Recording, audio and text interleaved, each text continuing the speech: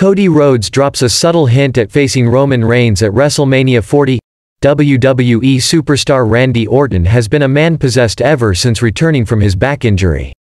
The legend killer has been on the winning end of most of his matches, and he recently ended an unfortunate 1455-day run.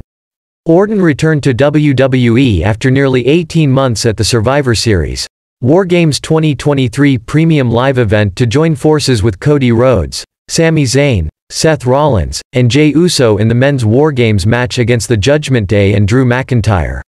However, the 14-time world champion soon set his sights on Roman Reigns and signed an exclusive contract with SmackDown.